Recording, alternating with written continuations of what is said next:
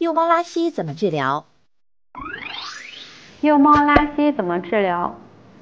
第一个，换粮或者是应激反应导致的拉肚子，这种情况的话，我们可以去尝试给猫咪吃一些提高免疫力的药物，或者是营养膏，也可以去增加益生菌。另外的话，可以去混合原来的粮食，去让它慢慢过渡。这个时候去降低猫咪的肠道敏感性，它会开始慢慢停止拉肚子。第二个，寄生虫引起的拉肚子，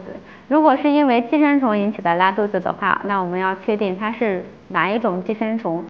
第三个，如果是因为肠道传染病引起的拉肚子，那我们这个时候就一定要重视，因为毕竟是幼猫，它呕吐和拉稀之后的话，对于它的体能消耗会非常大。那这个时候的话，我们要进行一些专业的治疗，比方说要给它进行一些体外补液，或者是说给它进行一些静脉补液，还要去给它提供一些抗病毒的药，去增强它的免疫力。小贴士：幼猫拉稀有这么几个原因。一是换粮食、换环境引起的应激反应，不用担心；二是体内有寄生虫；三是传染病引起的拉稀。我们要给猫咪吃一些提高免疫力的药物，给它定期驱虫，配合一些专业的治疗为好。